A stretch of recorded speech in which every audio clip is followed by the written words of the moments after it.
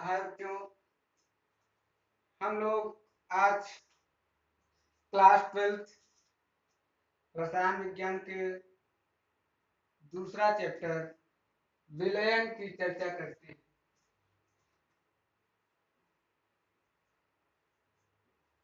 विलयन।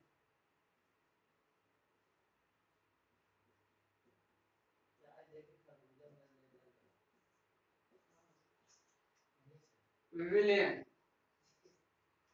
सबसे पहले हम लोग जानते हैं कि विलयन किसे कहा जाता है।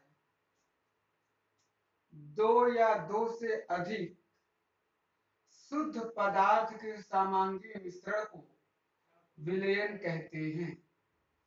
दो या दो से अधिक शुद्ध पदार्थ के सामांगी मिश्रण को विलयन कहते हैं।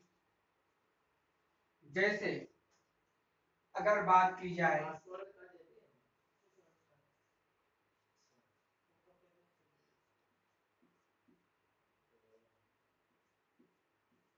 ये हम लोग पानी से भरा एक टब लेते हैं, बर्तन बीकर कुछ भी कह लीजिए।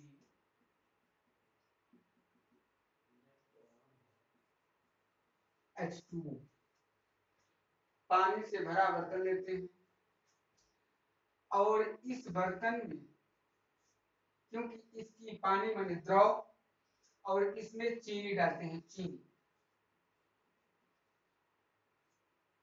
चीनी की मात्रा डालकर पानी में हिलाते हैं।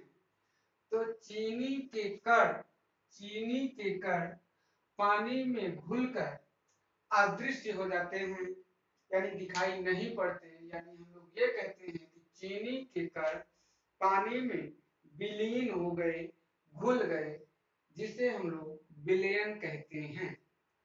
विलयन के सभी भागों का गुण समान होता है। यानी विलयन जैसे चीनी पानी में पूरी तरीके से घुल गया तो अब इस विलयन से या इस मिश्रण से अगर हम लोग यहाँ से कोई भाग लेते हैं और यहाँ से भी कोई भाग लेते हैं तो इनके गुण आपस में समान होते हैं। यानी विलयन के सभी भागों का गुण समान होता है। विलयन में एक भाग घुलता है और एक भाग घुलता है। यानी विलयन की बात करें तो विलयन दो शब्द यानी विलायक सॉल्वेंट प्लस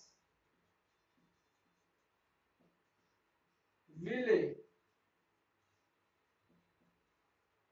सोल्यू से मिलकर विलयन बना होता है।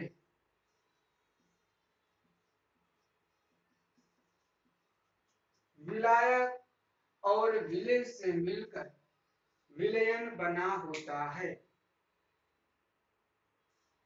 जैसे चीनी और पानी के घोल में अगर हम लोग बात करें विलयन में विलयन में विलय और विलायक को कैसे पहचाना जाएगा?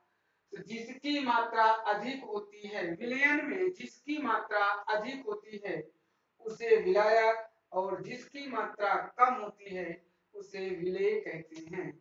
जैसे H2O H2O विलायक प्लस चीनी मिले चीनी मिले होगी और पानी विलायक होगा। जिस विलयन में जिसकी मात्रा अधिक होती है, उसे विलायक और जिसकी मात्रा कम होती है, उसे विलय कहा जाता है।